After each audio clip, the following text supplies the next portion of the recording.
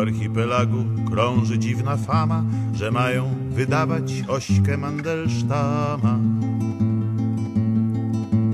Dziwi się bezmiernie urzędnik nalany, jakże go wydawać, on dawno wydany.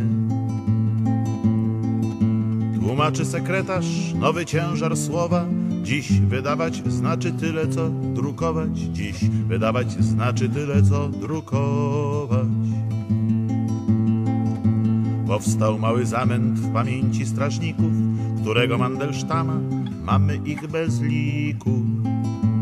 Jeden szyje worki, drugi miesza beton, trzeci drzewo rąbie, każdy jest poetą.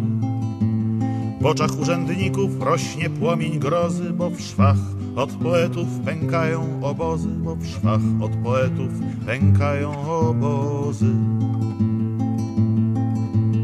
Przeglądają druki, wyroki, nic nie ma, każda kartoteka zmienia się w poemat.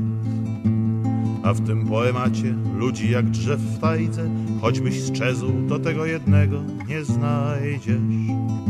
Stary zek wspomina, że on dawno umarł, lecz po latach zekom miesza się w rozumach.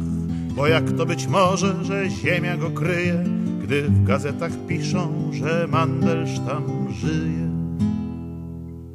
Skądże mają wiedzieć w syberyjskich borach, że to życie to tylko taka metafora? Patrzy z góry Osip na te wyspy krwawe i gorzko smakuje swą spóźnioną sławę. Bo jak to być może, że ziemia go kryje, gdy w gazetach piszą, że Mandelsztam żyje?